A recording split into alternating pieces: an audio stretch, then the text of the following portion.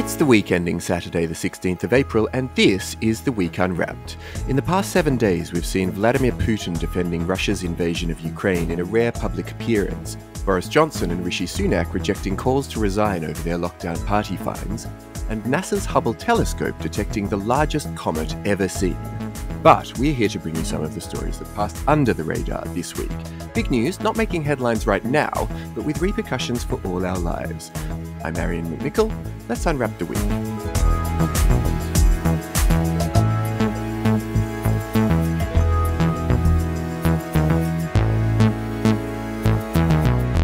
And Olly's still on holiday, so I'm back again for one more week. And joining me today from the week's digital team is Sorcha Bradley, from the Week magazine, assistant editor Leaf Arbuthnot, plus freelancer extraordinaire Suchandrika Chakrabarti. But, Leaf, you're up first.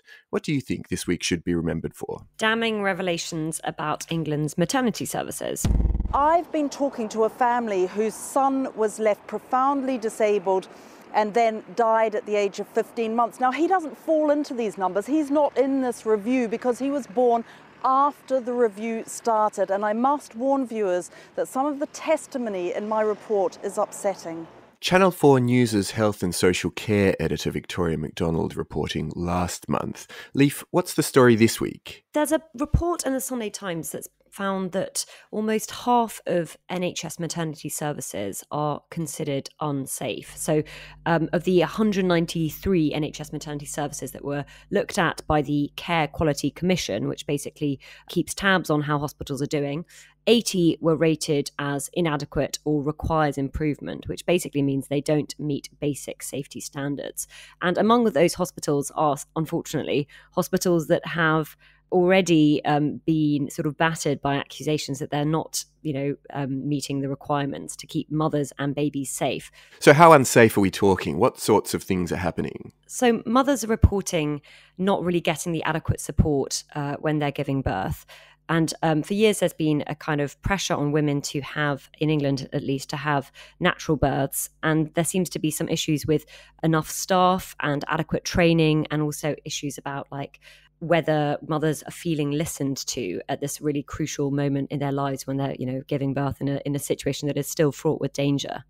And Sorcha, what were some of the human stories that came from the report? Well, some of the findings I found incredibly shocking. So, the Ockenden report found that women were frequently blamed for their own deaths and those of their babies. One husband who lost his wife was told that it was difficult for the midwives to listen to the baby's heartbeat due to the size of the mother. And in another case, a mother was told that she was responsible for her death because she didn't complain very much. And in 2011, the report says that a woman was accused of being lazy in labour. So there's a culture of blaming women for essentially receiving poor healthcare. It also found that stillbirths weren't investigated, that there was a toxic culture of undermining and bullying between staff, and a, an us and them divide between doctors and midwives. Um, it also found that wards were chronically understaffed and many w- midwives had insufficient training.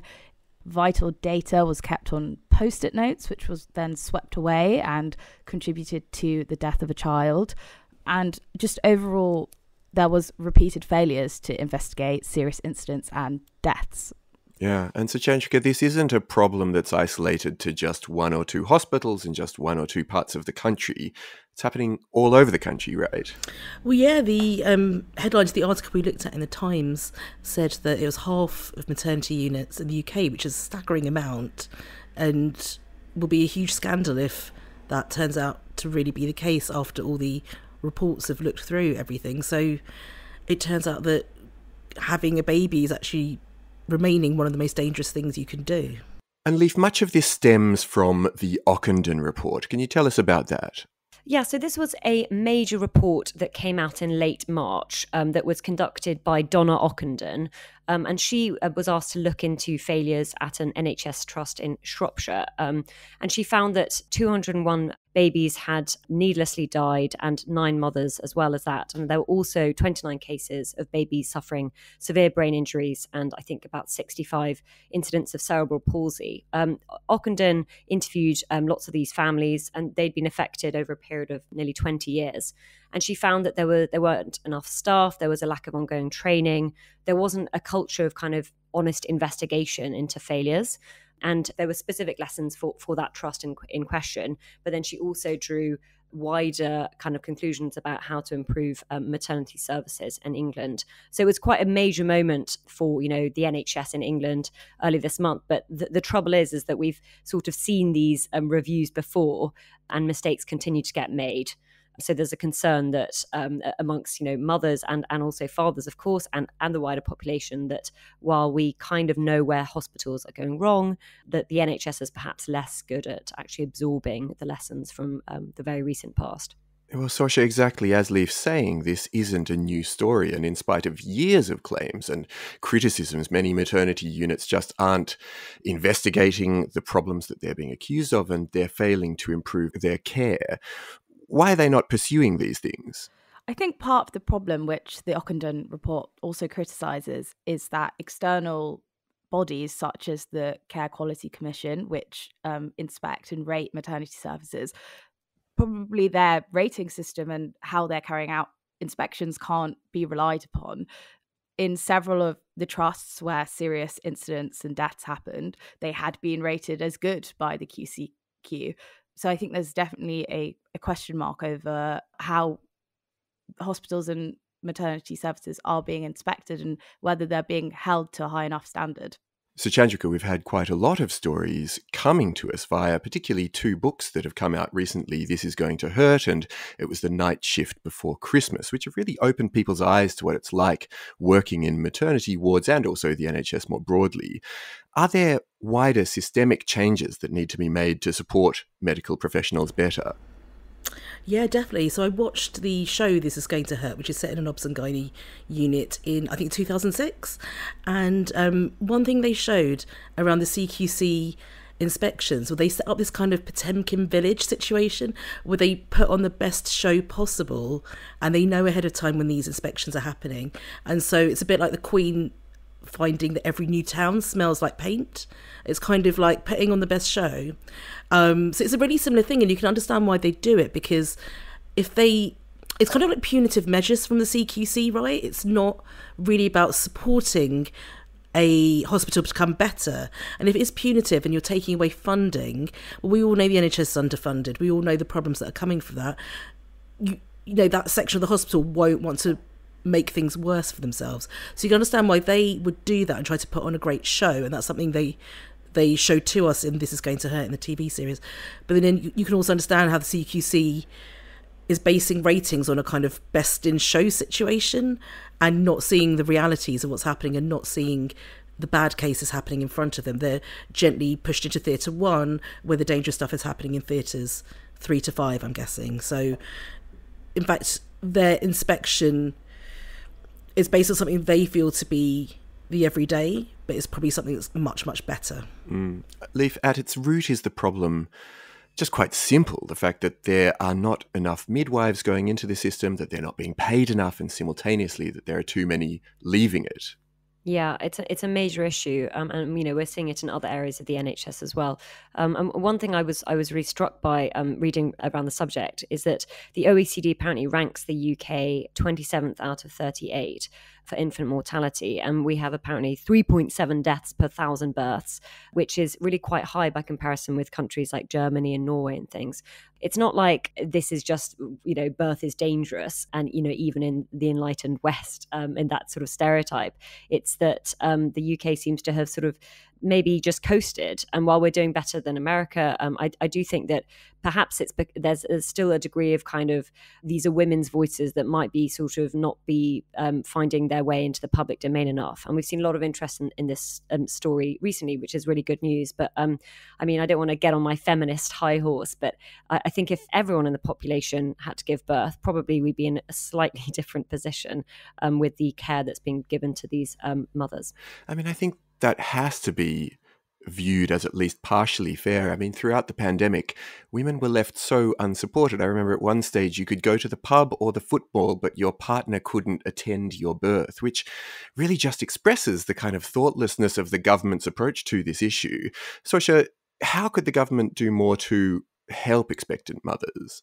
I think there is this expectation that women's bodies are built for childbirth um, and therefore not much kind of support or intervention is needed because we see it as a natural process and don't kind of fully i think i mean i have never been pregnant and never given birth but i have heard from several women i know in my life that you're not really told even now in 2022 the full pressure that you're and stress that your body is put under when you're pregnant and when you're giving giving birth. And I think something that the um, Ockenden report also points out is that there is a big obsession with natural birth. And luckily, I think that has now that is starting to change within NHS guidelines, especially after the um, Shrewsbury and Telford report. But there has been a culture in the NHS which the Ockenden report has says kind of has built up over decades um, that giving birth naturally is the quote unquote best way to give birth. Um, and li- women are given very little information about, um, you know, cesareans, for example.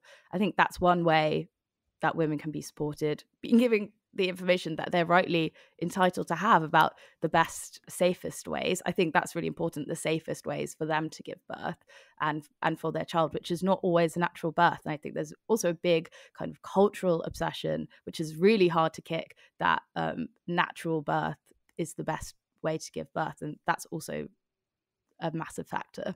Leaf, this is your story. What's next for it? Will we see things improving, or are they just going to continue on their current downward trajectory? Well, um, I, I, think, uh, judging by the history of these reports, um, we have every ground to be pessimistic. And yet, it does feel like there's been a real shift in the conversation around the maternity services in England. So um, I'm, I'm hoping that this will mark a sea change. Um, and the woman who led the report, um, Donna Ockenden, said that she hopes that hers will be the last like it, in that change will be properly brought in. So the jury is unfortunately out, but um, I think we're allowed to feel pretty cynical about it, um, but also to um, really hope that, that there is a change going forward. Okay, so Chandrika, you're up next after this. Brought to you by Aria Resorts Homes, providing holiday homes and staycation investments. Aria Resorts sell luxury holiday homes in top UK locations, with a potential 7% annual net return available to qualifying investors at our flagship resort in Cornwall. Terms and conditions apply. Find out more by searching Aria Resorts Investment.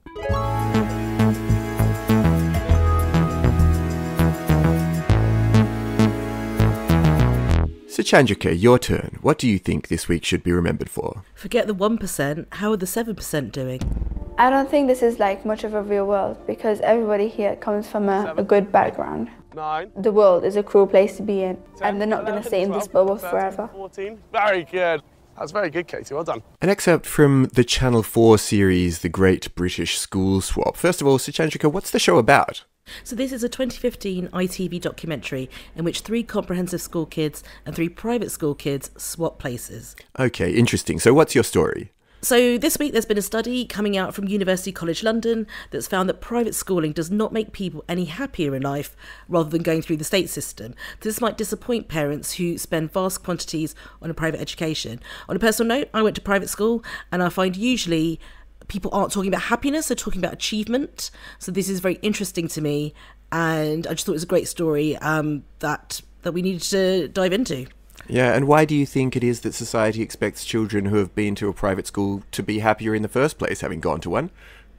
So there's a couple of different things here. There's firstly the idea of achievement equating to happiness um, which I think, you know, obviously it's much more complex than that. Or this idea of money equating to happiness, and again, much more complex. And the last thing is this idea of pastoral care being better in private schools. So, private school fees have gone up hugely in the last 20, 30 years, and the spending per pupil is, I mean, far, far ahead of what state school pupils are getting. And so more of that is being funneled into pastoral care within these schools. And so the idea is that private school children come out with confidence. That's something that's talked about in that documentary, um, School Swap, with confidence, with um, a stronger sense of themselves, with a better idea of how the world works. So there's a lot of expectation on what this money has bought for the private school children, which probably equates a lot of pressure as well. And the idea of happiness. I'm not saying that parents ever want to do something that doesn't result in happiness for their children, but I've never heard that as a first reason for sending a child to private school. Surely it's about securing a future for them in an increasingly competitive world. And secondarily, there could be other reasons. I think with my parents who um, came from India, that you can often get quite a large South Asian population in private schools, and it could be about fearing racism, fearing difference, and how they'll affect your children's future and hoping they'll be safer in that kind of environment. One of the girls says, It's not the real world, and when kids leave the bubble they're in, they will find it hard. Do you think that that's true? And if so, why is it that happiness dips after people graduate from school? I think that when you are in a, a, school, you're kind of really catered for, all of your horizons are quite close to you, and um, being ejected into the adult world um, can be pretty intimidating. The job market for well educated young people um, is competitive. Obviously, there's lots of demand for um, you know people in, in jobs like restaurants and things like that, but a, a lot of graduates especially since the reforms brought in by Tony Blair, um, are kind of competing for the for the top jobs. And I think there's something about that di- something dizzying about not really knowing where you what your place in the world is um, as a young adult and feeling like you have to get your life together. And there's no one there's no teacher there's no head teacher. There, there are no pastoral staff uh, saying this is what you should do. This is um, listen to me and i'll guide you. So i think those probably have a, a, an adverse impact on on your happiness immediately after school i think it's interesting that you know the the comment of it's a bubble and it's not the real world. Because i think i mean i went to both state school and then went to private school later. And i think the point of private schools public schools is that you you are put into a bubble and then you never leave it because you you go into jobs often which is you know completely oversubscribed with people who went to private schools. And you probably interact mostly with people who went to private schools yet in these work environments in your social life.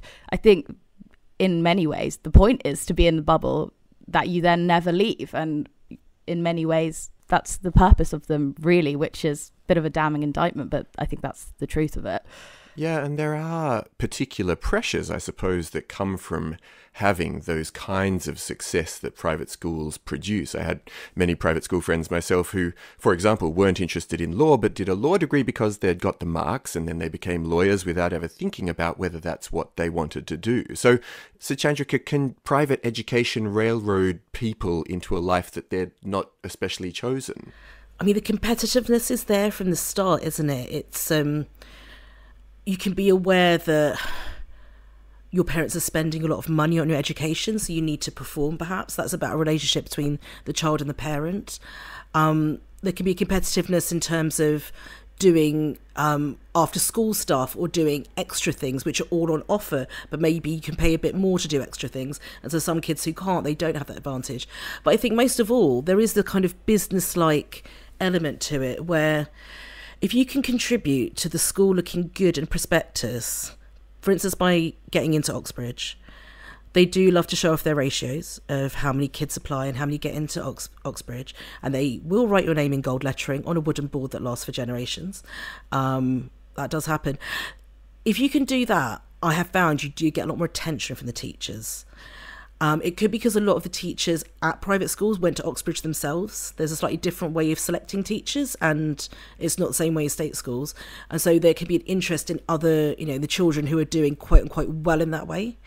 Um, it can mean the other 80% of the kids are not getting the same attention. So I think this idea that there's one private school or one public school experience isn't true. Um, obviously, there's an Eton experience that's different to um, my school in East London that I went to.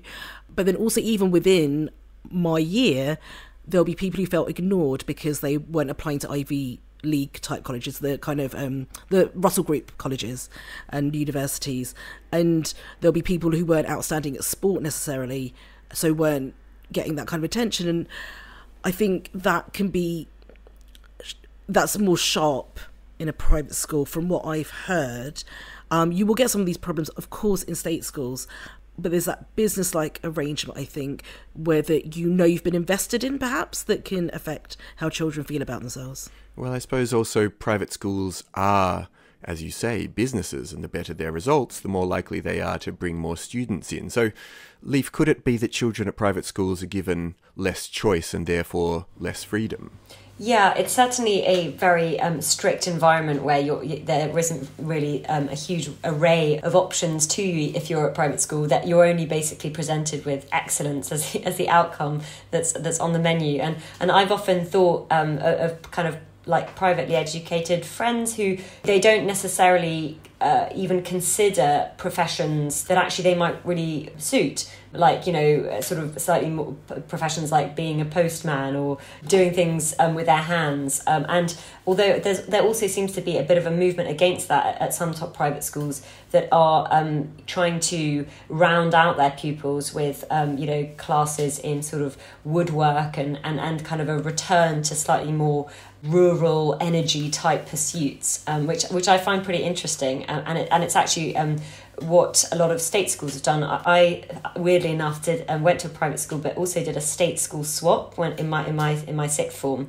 and the school that I went to in Nottingham had a kind of hairdressing salon where, where, where pupils could learn how to hairdress and it had lots of um, really wonderful technical classes that my um, extremely expensive private secondary school though I wasn't at a private school for my, for my primary experience um, didn't have. I kind of slightly reject that this idea of like being pushed to kind of achieve excellence then limits your choices. I think if you've been pushed to really succeed and then go on to a great university, then you can essentially do almost any job. I think what happens in lots of state schools is kids are not given a particularly, I mean, and I know you're not given a particularly it's not that you're not given a good education it's that there are no resources to spend time and attention on each individual child and i think like the attention that is lavished on on children when you go to a, a private school in these incredibly small class sizes of three or four people. How can children going to state school compete with that sort of attention? You can't. And I'm also slightly skeptical of this kind of study because these former students of state and private schools are asked in their teenage years and their early 20s about their life satisfaction. And I think those are tumultuous years for everyone. Um, how happy is any kind of like late teen, early 20 year old? I think maybe later on, if you ask them in five years, probably the you know the benefit of having attended a private school um, that's when it comes into fruition because you probably have a better job you probably almost definitely have more financial security in in whatever form and obviously those things don't aren't you know the key to happiness but it forms a really good foundation for those things yeah, it all reminds me a little bit of one of my favourite Spike Milligan quotes, which was, All I ask is the chance to prove that money can't make me happy. um, but maybe there is some truth to the idea that advantage doesn't necessarily equate to happiness. I mean, Suchandrika, is that the broad suggestion of this study? I, I mean, I guess they're kind of getting there because they do start talking about pastoral care and the, the amount of spending that's really increasing at a huge rate in private schools as opposed to in state schools where the spending is not increasing. But I think I think we're sort of drawing that conclusion because this isn't generally the question asked of private schooling and why it exists and should it exist, which in my opinion possibly it shouldn't. Um, the idea of happiness, I mean, surely at those ages and beyond, after you leave the schools, isn't it about the fact that the job market has changed so much from what we thought it would be the 90s or the noughties? Basically, anything I learned about the job market was completely disrupted by the internet.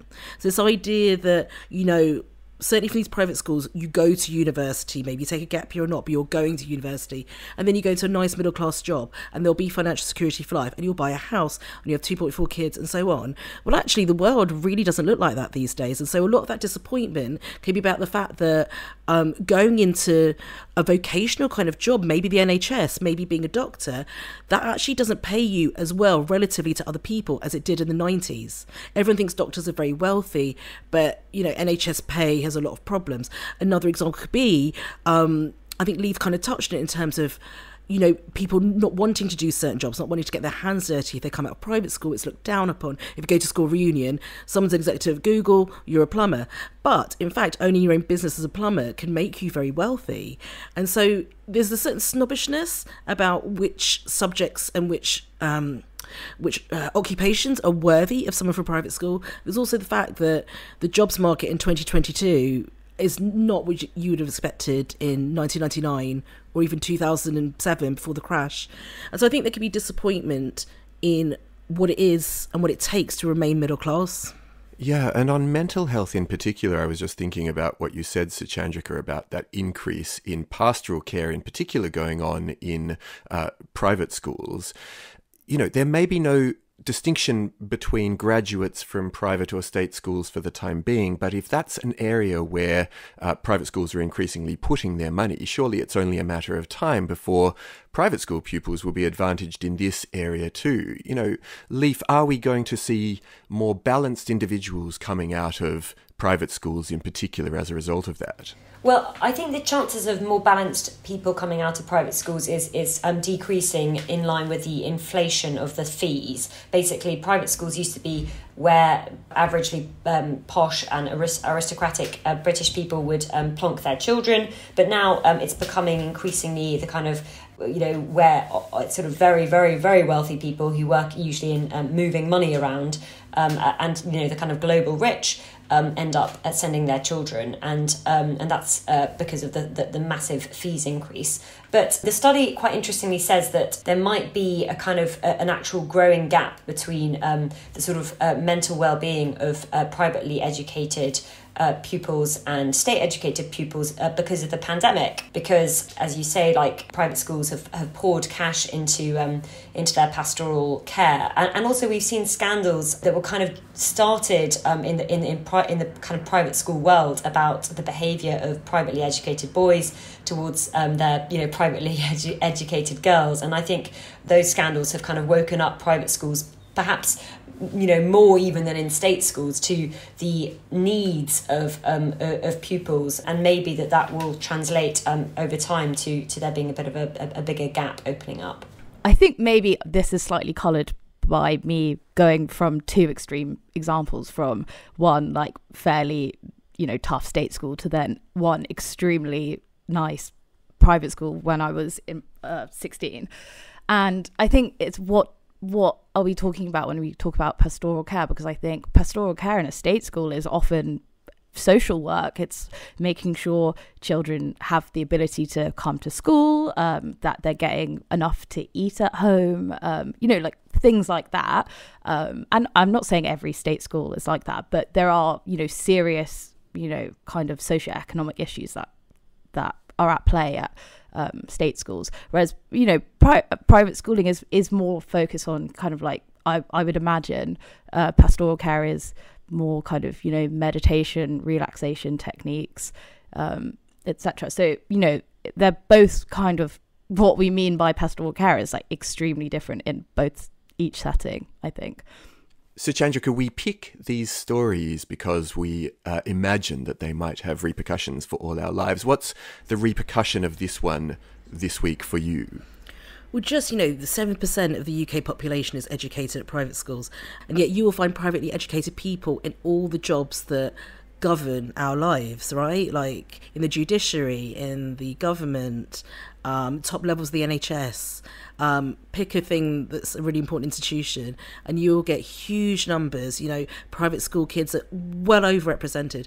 So, what is causing that? And if those people are all really unhappy, what does it mean for us? Like, what's going to happen to the rest of us? So, I do think we do have to delve into this. We do have to investigate. Um, first of all, it's those networks that are built at school, right? And those networks, I think, probably come into really powerful effect in your 30s when you see some of your friends starting to get really incredible jobs. And those networks do lead to a situation where we have overrepresentation of people whose educations were bought in certain jobs. So, yeah, if they're unhappy, we're unhappy, aren't we? okay, Sorcha, you're up next after this.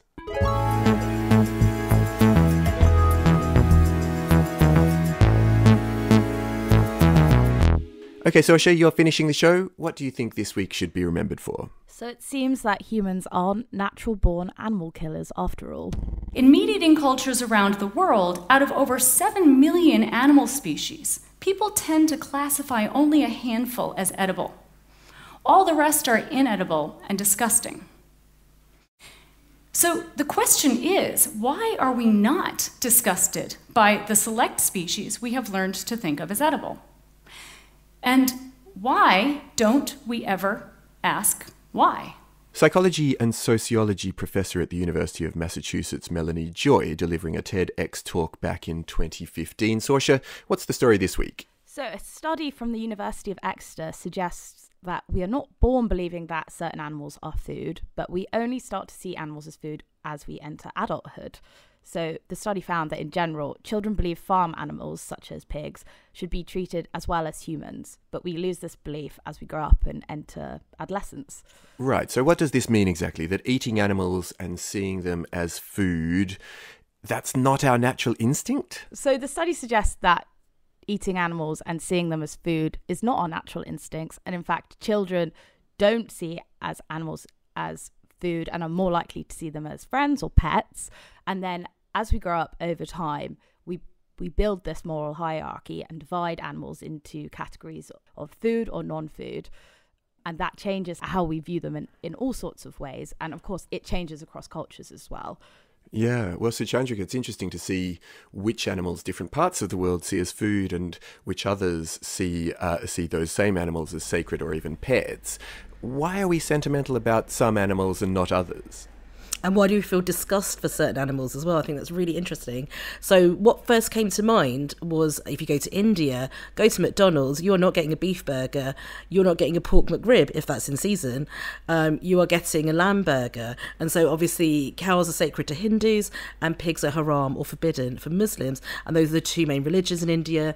Um, you have to have a McDonald's or other restaurants catering to them. But if you go to the south, actually, if you go to Goa and other places, you might find the menus a little bit different is um, you know a lot more Christianity is practiced in the South, and it's interesting in one sort of huge subcontinent that you have all these different divisions amongst sort of people who live and mingle among each other. Um, but there's a really big example in um, China. There's Yulin, which is a festival of lychee and dog meat in southern China. Um, so this caused a lot of uproar from us in the West. We're very happy to eat cows and, and pigs and lots of other animals, but we don't like the thought of people eating dogs. Um, the festival has come under fire in certain ways um, around the dogs being killed humanely and so on. But the fact is, sort of us in the West, our instant reaction is disgust.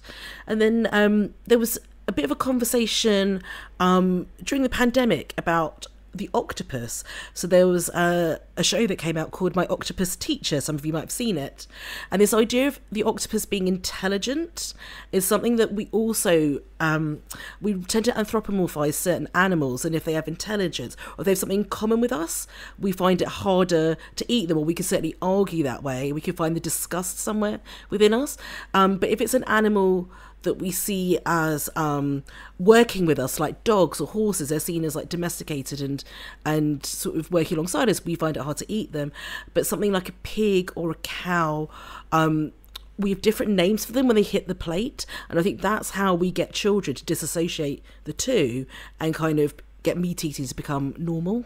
Leaf, Dr. Maguire, who led this study, I suppose that's what he was driving at. He was talking about the moral intelligence of children being potentially a valuable lesson for adults. Is learning from children's sense of morality what we should be taking from this? I am pretty skeptical that that's what we should be taking from it um, because, you know, if you ask children to um, rate the kind of value um, of animals and humans, they, they often seem to sort of conflate the two. So, it, it, by that logic, you would say a mouse is basically the same um, you know, we should protect a mouse as much as we protect um, a child or a person.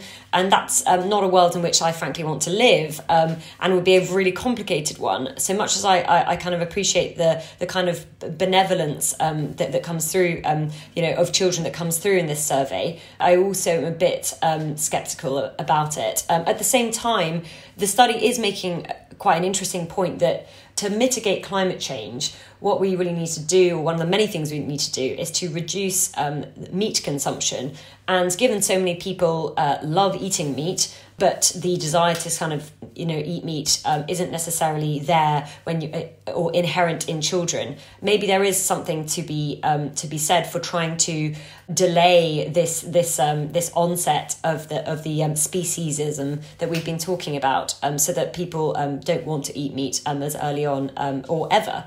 Um, but I but I but I am not really keen on the idea of thinking that just because children think something that um, the whole of adult society um, should follow their lead um, because after all societies have have evolved um, pretty successfully to um, for, for, for, human flourishing and I'm not sure that a, a world run by children would be um, a particularly good one. Sorcha, the creation of animal products is a business and since plant-based alternatives are on the rise not least for the reasons that Leaf was mentioning there, you know, about environmentalism specifically, do you think that we'll start to see a sea change in at least how ethically our animal products are produced?